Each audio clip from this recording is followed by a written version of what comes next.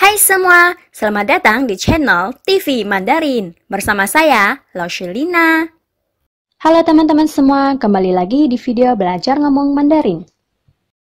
Materi ini mengajarkan Anda kosakata Mandarin, contoh kalimat sederhana, latihan ngomong Mandarin langsung.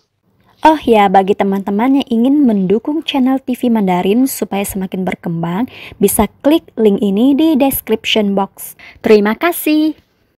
Kosakata yang pertama yaitu anggota. Bahasa Mandarinnya adalah huiyuan. Huiyuan. Huiyuan. Contoh kalimatnya, 成为我们的会员吧。成为我们的会员吧。yang artinya jadilah anggota kami atau bergabunglah dengan anggota apa anggota kami gitu. Chengwei itu jadi ya. Woman itu berarti kepunyaan kami ya. Huiyuan huiyuan tadi adalah anggota. Jadi maksudnya dia suruh dia tuh gabung jadi anggota, ikut jadi anggota mereka gitu. Chengwei woman de huiyuan ba. Oke. Coba teman-teman ngulang cara ngomong Mandarinnya.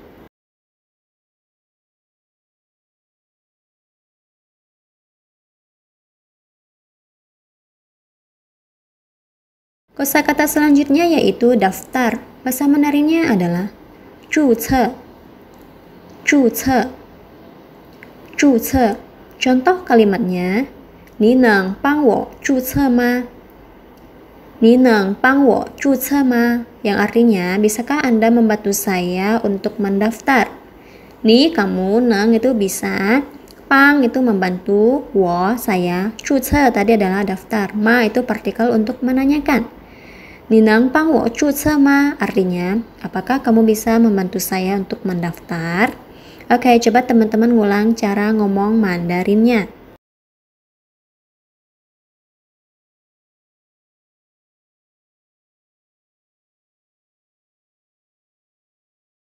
Kosakata selanjutnya yaitu login.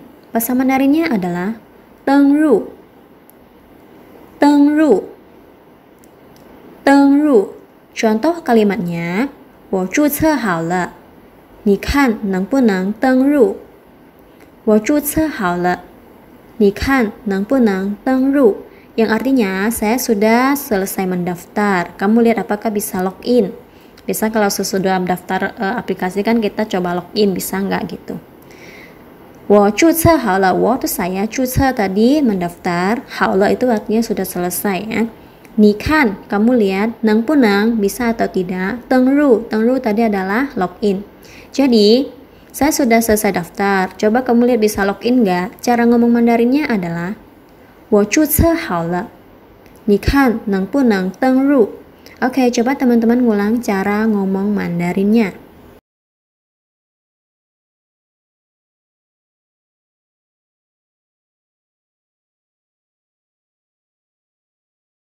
Kosakata selanjutnya yaitu username ya atau nama pengguna. Bahasa Mandarinnya adalah Yung Hu Ming. Yung Hu Ming. Yung Hu Ming. Contoh kalimatnya, 你的用户名很简单。你的用户名很简单. Yang artinya username kamu sangat sederhana. Nita itu kepunyaan kamu. Yung Huming tadi adalah username. Han Centan, Han itu sangat centan yaitu sederhana. Jadi, username kamu sangat sederhana. Cara ngomong Mandarinnya adalah Nita Yung Huming Han Centan. Oke, coba teman-teman ngulang cara ngomong Mandarinnya.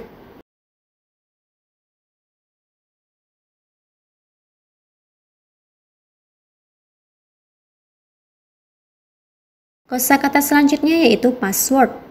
Bahasa Mandarinnya adalah Mima. Mima. Mima. Contoh kalimatnya, 我要做个难记的密码。我要做个难记的密码 yang artinya saya ingin membuat uh, password yang susah diingat. 我要做 saya mau membuat Nanci dan mima, ike ke itu berarti sebuah nanci, nanti nan itu sulit atau susah, ci itu ingat, mima tadi adalah password. Jadi, waya ke nanci dan mima yang artinya saya mau bikin sebuah password yang susah diingat. Oke, coba teman-teman ngulang cara ngomong Mandarinnya.